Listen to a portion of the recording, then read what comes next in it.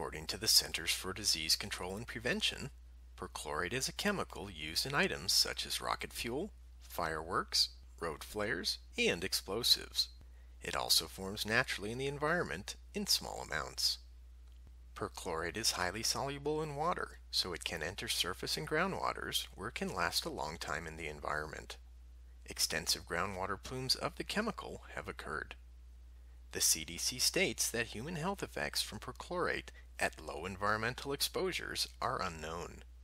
The U.S. Environmental Protection Agency reports that short-term exposure to high doses may cause eye and skin irritation, coughing, nausea, vomiting, and diarrhea.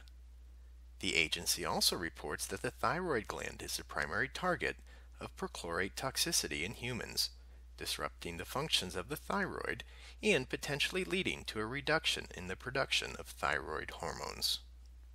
According to the U.S. National Library of Medicine, people can be exposed to perchlorate by ingesting contaminated food or water, breathing contaminated dust, or touching contaminated soil. The primary pathways for human exposure include ingestion of contaminated food and drinking water. Food such as certain plants with high water content can contain elevated levels of the chemical if those plants have taken up water containing perchlorate.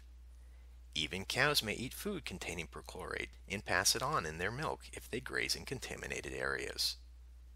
Workers who manufacture perchlorate containing products can also be exposed to greater amounts of the chemical than the general population.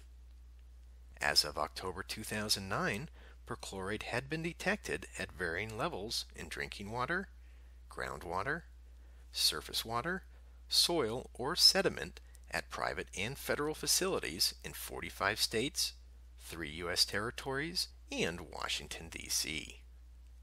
These are just a few things to know about perchlorate and potential exposure concerns.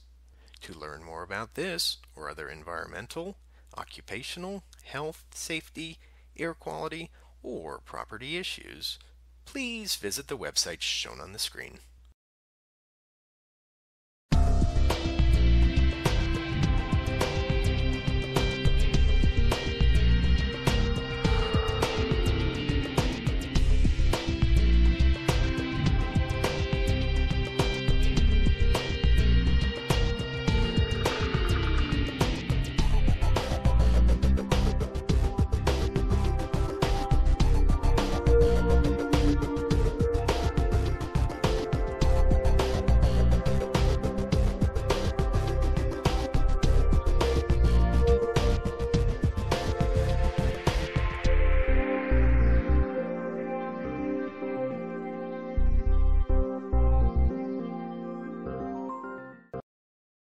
IAQ TV, the place to be.